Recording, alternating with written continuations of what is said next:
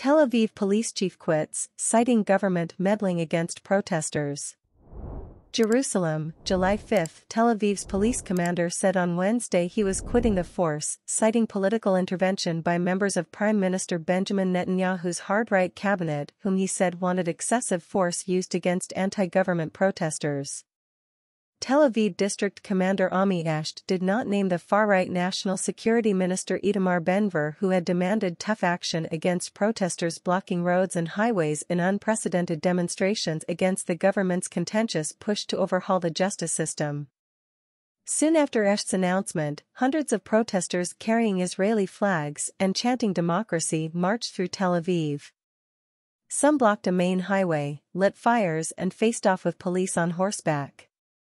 In a televised statement, Eshed said he couldn't live up to the expectations of what he called the ministerial echelon, which he said had broken all rules and had blatantly interfered in professional decision-making.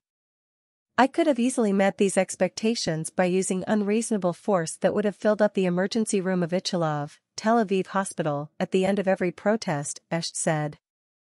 For the first time in three decades of service I encountered an absurd reality in which ensuring calm and order was not what was required of me but precisely the opposite, he said.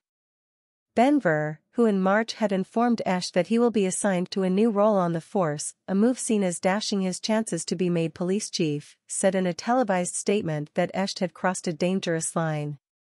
Politics has seeped into the most senior ranks in Israel and a uniformed officer has caved to senior politicians on the left, he said.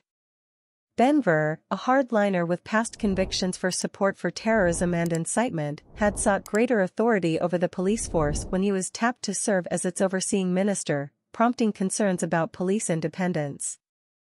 Having recanted some of his views, Ben-Gvir joined Netanyahu's new coalition in December, alarming liberals at home and abroad.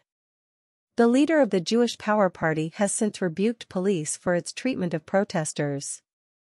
Other members of Netanyahu's nationalist religious coalition have echoed Ben-Gvir, saying police have shown favorable treatment to the protesters who have filled Tel Aviv streets weekly since January, compared with what they see as far harsher treatment of settlers and ultra-Orthodox protesters.